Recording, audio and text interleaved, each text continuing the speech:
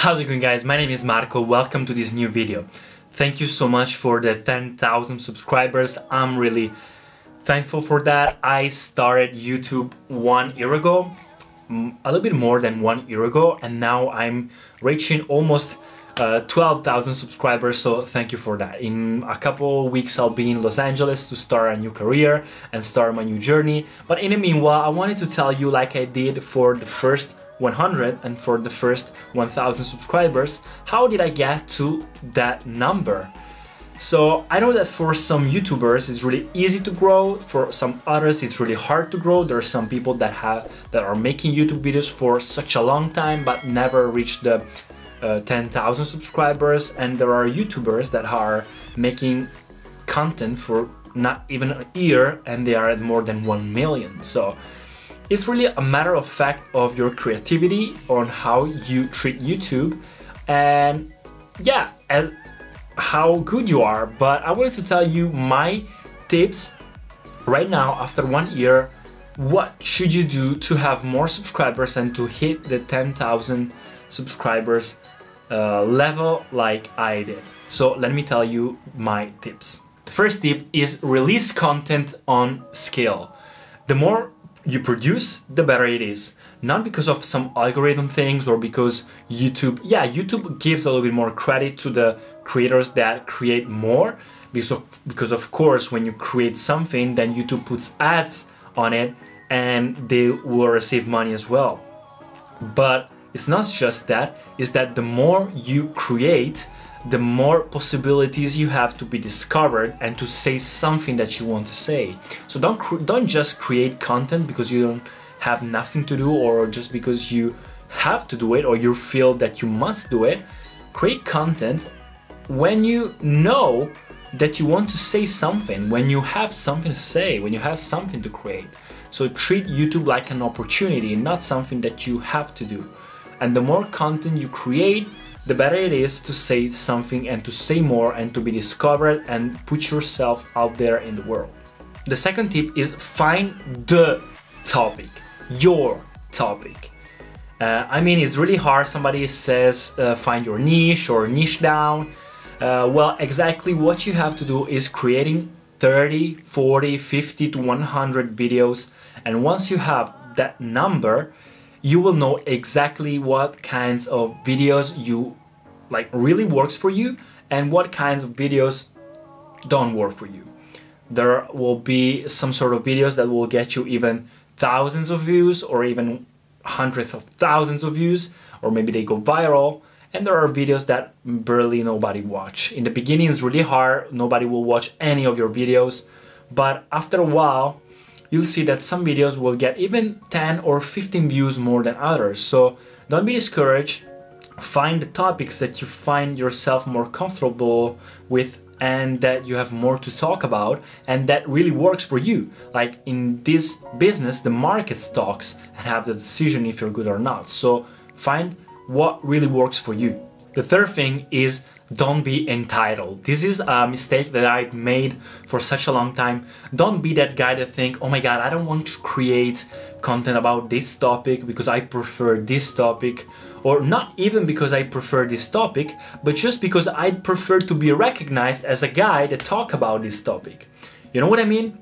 For example, when I started, uh, I wanted to talk about, uh, you know, fashion, beauty, etc. because I saw I watched all the time like Aaron Marino, Alex Costa, all these kinds of fashion YouTubers and I wanted to be like them. But you know, these kinds of topics, yeah, worked, but not worked the best for me. So I started shifting a little bit.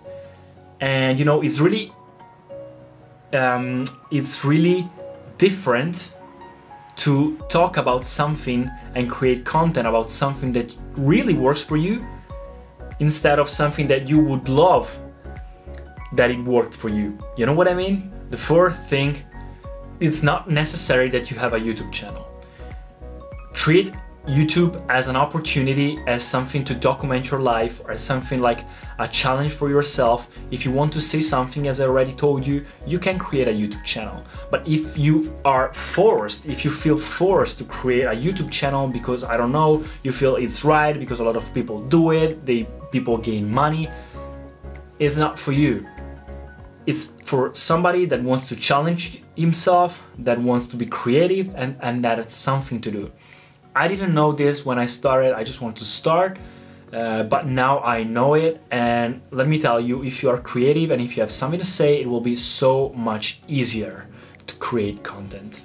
And a fifth and last thing that I want to say as a tip, you know, I have some millions of other tips but I made the videos for how to how I reached my first 100 and how I reached my first 1000 subscribers. And basically I discovered the basics uh, in those videos. I think that right now I have to tell more about the details and the mindset. So this fifth thing is creating a schedule. What do I mean by creating a schedule? I mean like I prefer quantity over quality. At least in the beginning, once you are starting a YouTube channel, once you are before the 100,000s, the more you put yourself out there, the better it is, as I told you. You have to take YouTube and all the social media as an opportunity to say something, to go out of the crowd and be yourself. Say something original, say something relatable, uh, say something that people want to share, uh, say something funny or teach something to other people. If you're good at something or if you feel good about something, you have to share it. You have the responsibility to share it with the world. People wants to know it from you.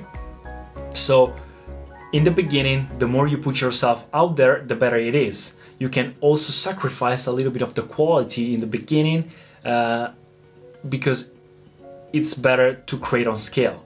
Then, once you are better, once you have your schedule and your system to post at least, I don't know, two, three, four times per week, then you can also increase your quality a little bit more, uh, upgrading your gears, maybe having a better quality camera or having lightings or I don't know. But in the beginning, the more you put you put yourself out there, the better it is.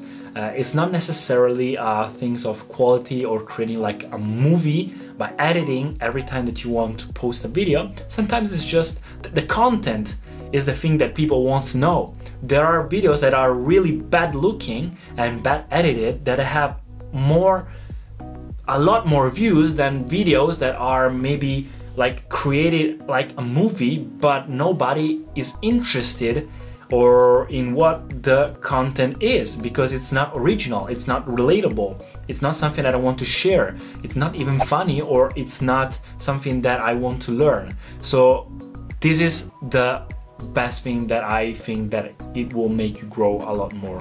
So this is it guys, be persistent, uh, don't look at your stats every time that you post a video, reply to comments at least once per month, uh, engage with your audience, try to share your videos everywhere in every social media that you have. And that's it guys, this is YouTube. Uh, it's an opportunity to be here. Thank you so much for the 10,000 subscribers and leave a comment down below. Uh, what do you think that I missed? And let me know uh, what kinds of content you want me to create uh, more. So leave a thumbs up and I'll see you in the next video. Peace.